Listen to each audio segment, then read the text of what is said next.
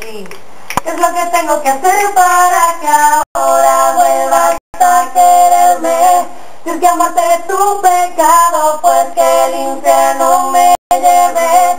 ¿Qué es lo que tengo que hacer para que ahora vuelvas a quererme? Bueno, chicas, muy bien. Gracias.